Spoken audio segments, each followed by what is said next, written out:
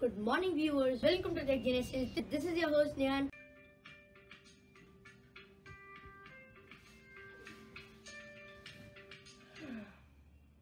And today we'll be reviewing the Sanyo LED TV.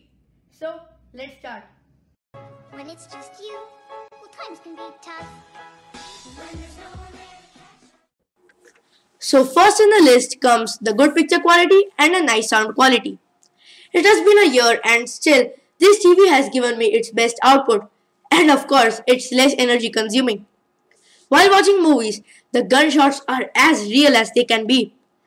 Next comes its great performance, the varieties of mode that it offers and of course the great number of inputs. So as we have talked in the previous videos, there are lots and lots of variations in inputs.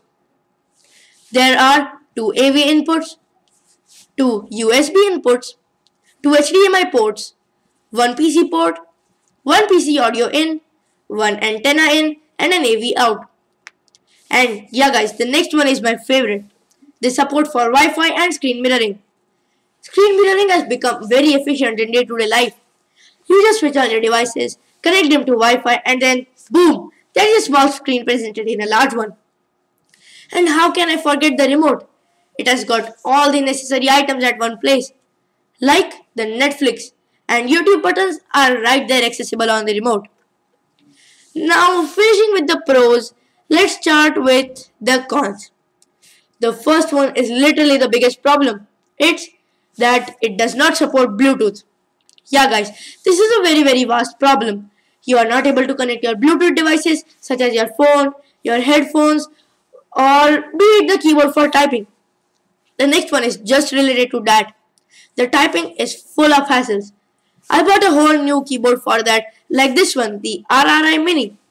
But I always had to select words by moving the arrow keys. The apps are very limited. This does not seem cool in a great TV like this. Other than Netflix and YouTube, the store is full of third-party apps.